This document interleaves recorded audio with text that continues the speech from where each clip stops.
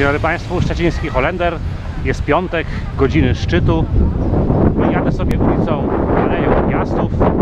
Badać jak się jedzie w godzinach szczytu, tak właśnie od Alei Piastów do Rajskiego mniej więcej. Także przejdziemy sobie przez dwa ronda z Szarych Szeregów i Plac Grunwaldzki. No i zobaczymy jak wygląda ruch. Jest dość tłoczno, jak widzą Państwo. Dużo samochodów. Tutaj jest powoli zamykana ściegiennego, bo są roboty wykonywane, rewitalizacja. Tak samo jest na bohaterów getta również. No nie załapałem się na zielone. Mówi się trudno.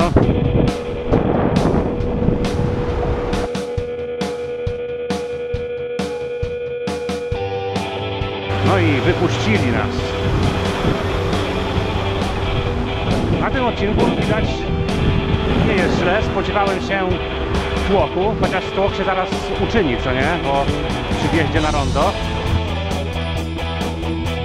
Nie chce mi się tutaj z prawej strony przebijać, a mógłbym w sumie.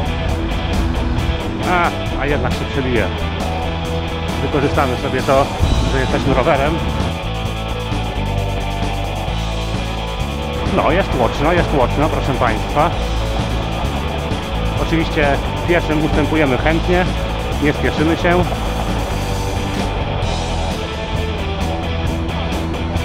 No i wjeżdżamy z Piłsudskiego pas rowerowy.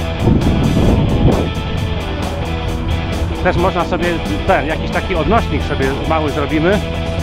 Tam na yy, Placu Sprzymierzonych z prawej strony tą korsę niebieską mijałem, a ona jest za mną zaraz.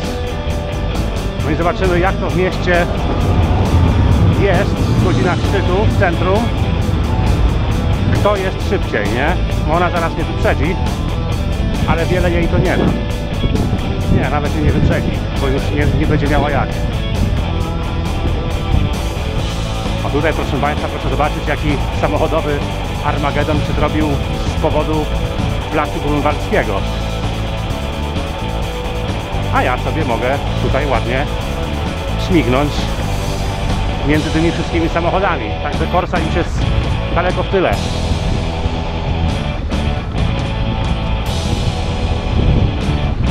Jeśli ktoś nie ma bardzo daleko dojazdu do pracy z y, jakoś tam, nie wiem,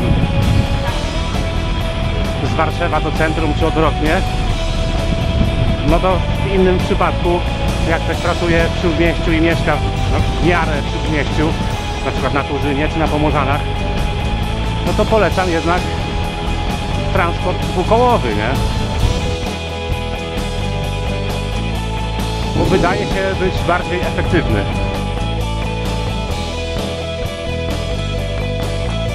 Tak jak mówiłem, będę jechał do ulicy Rajskiego, także skręcę sobie w Rajskiego.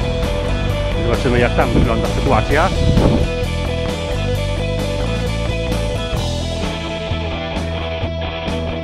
No i tutaj sobie mogę wjechać w ścieżkę rowerową. Dodam jedną z najstarszych ścieżek rowerowych w mieście.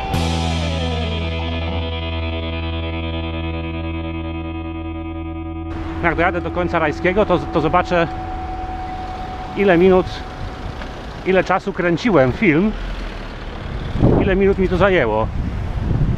No i sobie Państwo sami odpowiedzą, czy szybciej jest rowerem, czy szybciej jest samochodem ten odcinek pokonać.